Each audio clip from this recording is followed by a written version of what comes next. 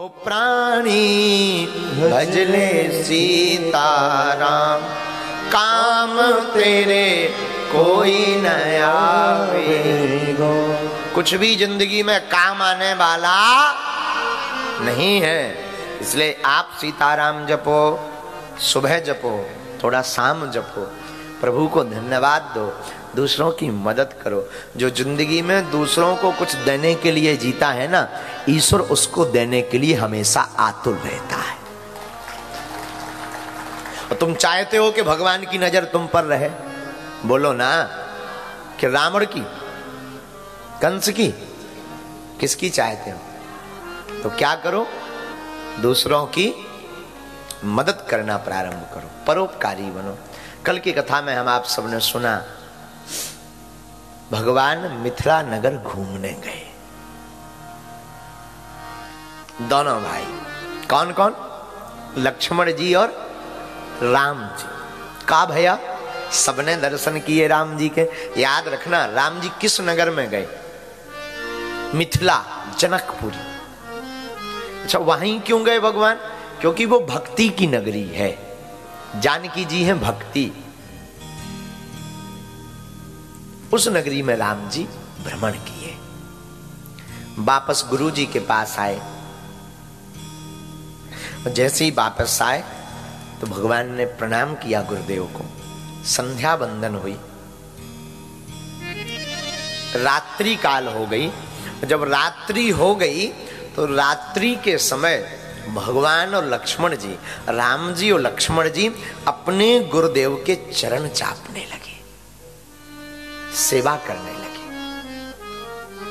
बार बार चरणों की सेवा करते याद रखना मेरे माई बाप जो पुत्र अपने पिता की सेवा करता है, जो शिष्य अपने गुरु की सेवा करता है, जो पत्नी अपने पति की सेवा करती है, वो ज़िंदगी में परम सुख पाते हैं। लेकिन आज के जमाने में पैर नहीं दबाए जाते। हैं लगता है कब ये सो जाए तो इसका गलऊ दबा दिया जाए। हाँ पहले का जमाना था, खूब चरणों की सेवा करते थे लोग। अब आज का जमाना ना, बड़ा उल्टा हो गया। आजकल लोग इतने बनावटी हो गए, इतने बहानेबाज हो गए, हमारे कई चेला हमको ही बहाना बना देते। बहुत बार बहुत बार।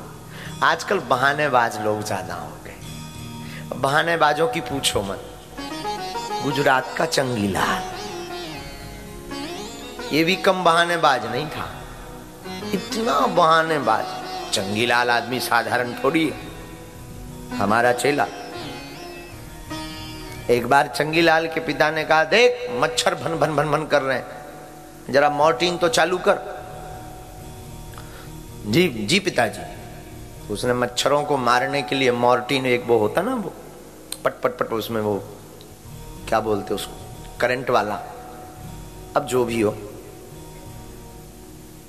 तो एक दो तो मार दिए, फिर वो ठंडियों का टाइम तो फिर सो गया। तो बाप ने फिर जगाया, तूने मच्छर नहीं मारे। पिताजी मारे तो हैं। अगर मारे होते तो ये गुनगुनाते हुए मच्छर क्यों आ रहे हैं? गीत गाते हुए। अब बहाना देखना।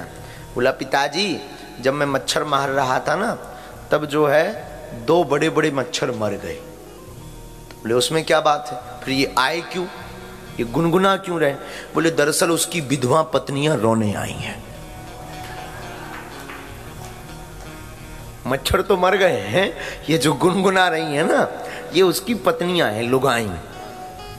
बाप भी बड़ा ऊँचा, बाप तो बाप होता है। बाप बोला, ये बता, इसकी लुगाई कितनी थी?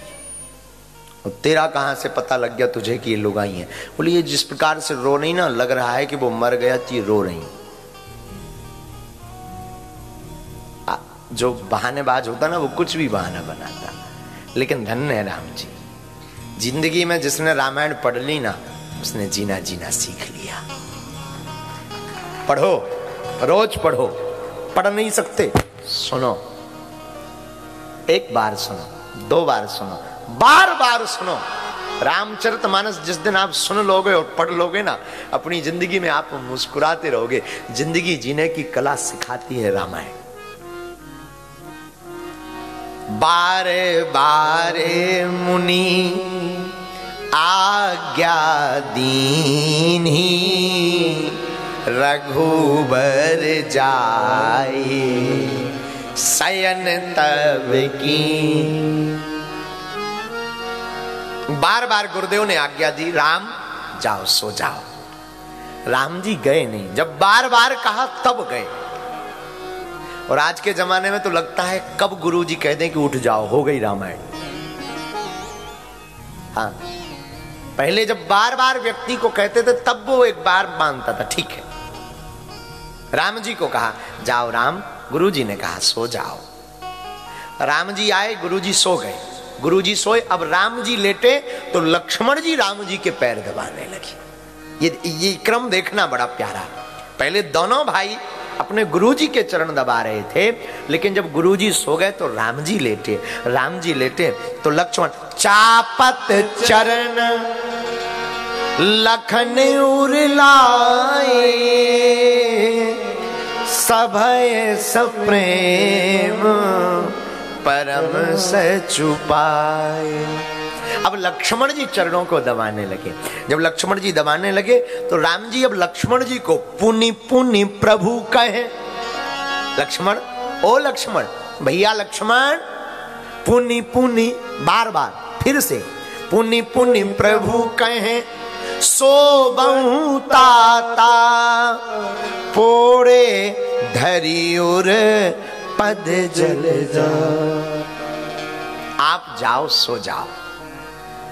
लक्ष्मण जी की सैन ज़िंदगी में अपने श्रेष्ठ भ्राता, बड़े भाई के प्रति कितना उदार होना है, रामायण पढ़ो, सीखो। लक्ष्मण जी बड़े भाई के कहने पर सो तो रहे, पर कोई अलग कमरे में नहीं।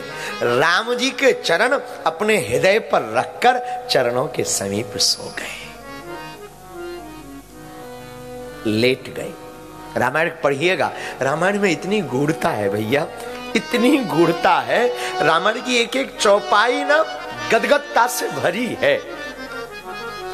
लक्ष्मण जी, राम जी के चरणों को हृदय पर रखकर सोई। पहले नंबर कौन सोया? गुरु जी फिर कौन सोए राम जी। सबसे बाद में कौन सोया? लक्ष्मण जी। लेकिन अभी सुनिएगा। उठे लखन निशी विगत सुनी। अरुण सिखा सुनिका। प्रातः काल हुआ, मुर्गे ने बांग दी। पहले अलार्म मुर्गा होता था, अब घड़ियाँ होती जैसे ही मुर्गा ने बांग दी तो सबसे पहले गुरुजी सोए, फिर राम जी फिर लक्ष्मण जी। लेकिन मुर्गा की बांग सुनकर सबसे पहले लक्ष्मण जी जागे। सेवक वही है जो स्वामी के पहले तैयार हो जाए। शिष्य वही है जो गुरु से पहले काम करने को आतुर हो जाए। पुत्र वही है जो पिता के पहले तैयार होकर के सेवा करने लगे। पत्नी वही है जो पति के पहले अग्रसर होकर के चाहे धर्म का काम हो या मानवता का काम हो, पति के आगे तैयार हो।